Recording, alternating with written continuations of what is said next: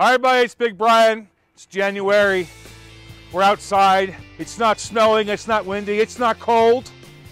It may show in the ground, but out here, our lots are clean, our trucks are ready. Come see us. Frederick Chevrolet, look at our lot. It's cleaned up. We're ready to go. I'm Big Bryan, and we're here to help you. Come see us, Frederick Chevrolet. 717 274 1461. Ask for Big Bryan.